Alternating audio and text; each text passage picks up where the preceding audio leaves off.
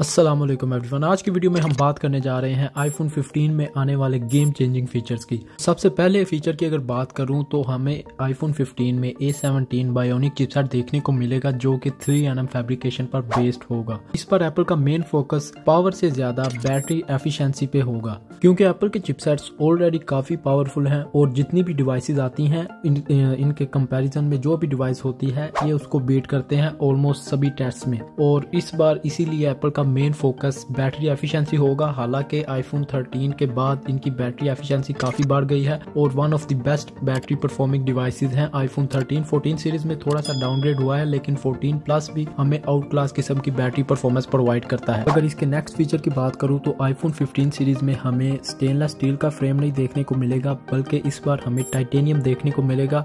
और titanium is one of the most strongest metal जो कि काफ़ी ज़्यादा आउट क्लास किस्म का फीचर हो जाएगा। किसी भी डिवाइस में और अगर नेक्स्ट फीचर की बात करूँ तो इस बार हमें आईफोन 15 सीरीज़ में सॉलिड सेट नाम का एक फीचर देखने को मिलेगा, जिससे जब भी हम पावर बटन या volume up down keys press करेंगे तो हमें एक हैप्टिक फीडबैक देखने को मिलेगा।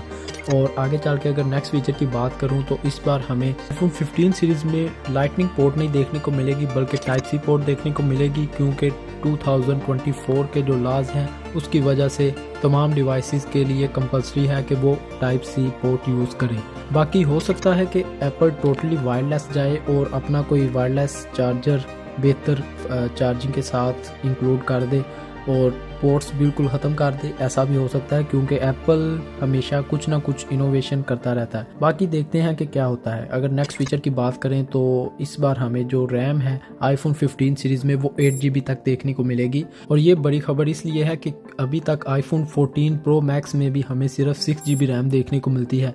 लेकिन आई इतना वेल ऑप्टिमाइज्ड है और इतना मतलब ऑप्टिमाइजेशन एप्पल की बेहतर है कि उनको ज़्यादा रैम की ज़रूरत नहीं पड़ती। लेकिन जब और रैम इंक्रीज़ हो जाएगी तो इसका मतलब है कि और ज़्यादा आपको बेहतर परफॉर्मेंस और बेहतर मल्टीटास्किंग देखने को मिलेगी। ओवरऑल ये थे तमाम फीचर्स आईफोन 15 सीरीज़ के। आपको कैसे लगे कमेंट सेक्शन में लाजमी बताइएगा। वीडियो अगर अच्छी लगी, आपके लिए हेल्पफुल साबित हुई हो तो वीडियो को लाइक और चैनल को सब्सक्राइब कर दीजिए। अगली वीडियो तक के लिए टेक केयर अल्लाह